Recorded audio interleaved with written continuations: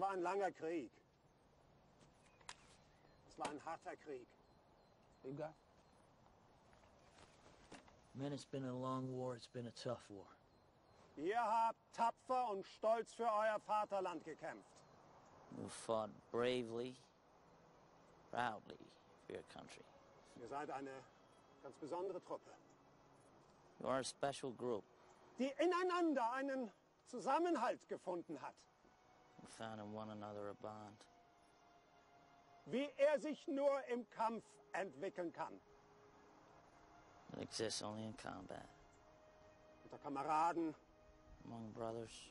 die Fuchshöhlen geteilt haben, who've shared foxholes, die sich in schrecklichen Momenten gegenseitig gestützt haben, held each other in dire moments, die den Tod zusammen gesehen haben und gemeinsam gelitten haben. who've seen death and suffered together. Ich bin stolz, mit euch gedient zu haben.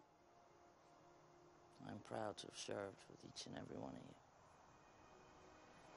Sie alle verdienen ein langes und glückliches Leben in Frieden You deserve long and happy lives in peace.